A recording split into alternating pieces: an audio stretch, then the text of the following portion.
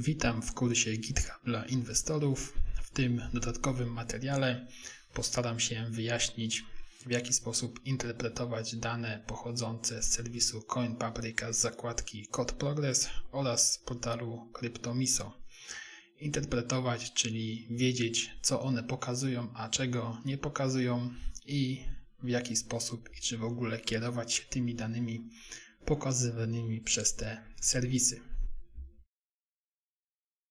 Przede wszystkim pamiętajmy o tym, że dany projekt składa się zwykle z kilku repozytoriów, co zresztą jest widoczne na GitHubie na widoku e, konkretnej organizacji. W tym przypadku pokazuję tutaj organizację odpowiedzialną za projekt Waves.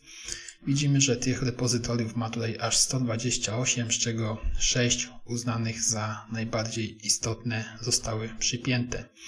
I tak na przykład, biorąc pod uwagę te omawiane tutaj serwisy, czy też analogiczne serwisy pokazujące postęp w kodzie, zwracajmy uwagę, że zwykle są tam pokazane czynności pochodzące tylko z jednego repozytorium, a tutaj taki projekt składa się przynajmniej z sześciu znaczących repozytoriów. To już nam daje obraz tego, że po prostu w danym okresie czasu w jednym repozytorium może po prostu nic się nie dziać lub dziać się bardzo mało, natomiast wszelkie wysiłki zespołu programistycznego zostały w tym czasie przeniesione do innego repozytorium, gdzie po prostu było czy jest więcej do zrobienia w danym okresie czasu.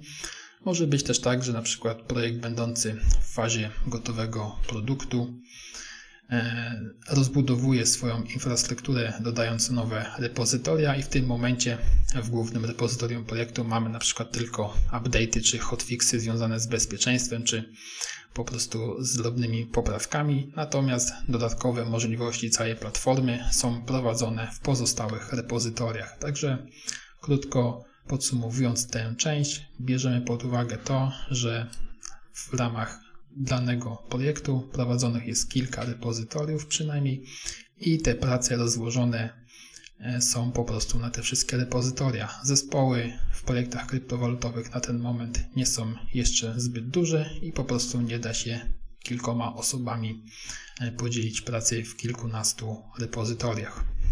Kolejna sprawa Tutaj omówię to na przykładzie, na, przy, na przykładzie projektu Icon. Widzimy tutaj dosyć małą aktywność deweloperską i weźmy tutaj ten przypadek e, okres pomiędzy 21 a 27 października roku 2019. Widzimy tutaj portal CryptoMiso, e, przepraszam, portal CoinPaprika, zakładka Code Progress pokazuje jedynie dwa komity, czyli dwie zmiany w kodzie. E, tak naprawdę od 20, tak dokładnie od 21 października tych zmian było więcej. Tutaj widzimy, że rzeczywiście były tylko dwa komity, to związane jedynie z update'em pliku tekstowego czy z update'em numeru wersji. Natomiast były również dwa, dwie operacje e, merge'owania pull requesta, czyli dodawania kodu do głównej gałęzi, do master brancha i pamiętajmy o tym, że w kontekście jednego pull requesta może być realizowanych kilka zmian, kilka komitów. Tak na przykład tutaj e, w ramach tego jednego pull requesta były zmienione dwa pliki, e, dodano cztery linie, a usunięto 12, co zresztą widać tutaj na tym e, wyświetleniu. Także zwracajmy uwagę na to, że po prostu przeważnie na tym wykresie są jedynie pokazane komity, nie ma natomiast pokazanych zmerdżowanych branchy poprzez pull requesty, a w tych właśnie pull requestach często dochodzą komity, dochodzi dużo zmian, które po prostu nie są uwzględniane tak jak tutaj te widoczne, choćby na przykładzie e, projektu Icon. Także krótkie podsumowanie tej części.